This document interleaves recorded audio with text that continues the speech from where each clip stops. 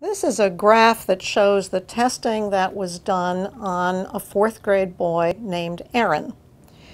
And you see that the kinds of tests that were given and the profile of the tests, uh, of his test performance, help us to make the diagnosis of dyslexia. First, we look to see if the child has average, at least average intelligence, which says he is able to learn. Then we look to see what the child's ability is with oral language. And for Adam, he had very average oral language. Then we look to see what his reading uh, abilities are. Here's reading comprehension. Here's the ability to read words. Now, his comprehension is much less than his intelligence would suggest or that his oral language would suggest.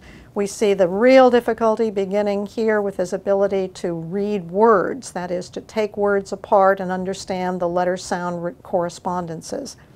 Then we see that his spelling is about on par with that, and his greatest difficulties here have to do with his ability to sound out words for reading and spelling. And so this is an example, Aaron, is a child who has what we refer to as a phonological difficulty, difficulty with the sounds of the language and how these relate to the letter structure uh, that is critical if we want to learn to spell and to read words we've not seen before. There are eight really critical predictors of poor reading uh, after a child comes to school.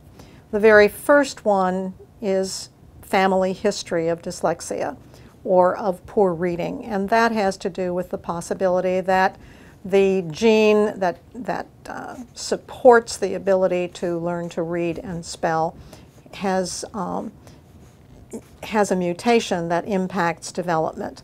Secondly is the early language development.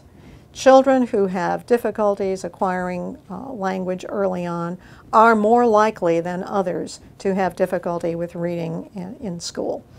The other predictors have to do with how easily they uh, become interested in uh, print as, as an, uh, in their environment, the ability to learn letters of the alphabet, the ability to, to isolate sounds, syllables and words, sounds and words, the ability to use vocabulary, the ability to learn new words and to use them effectively, the ability to retell, to recall stories or songs and retell them.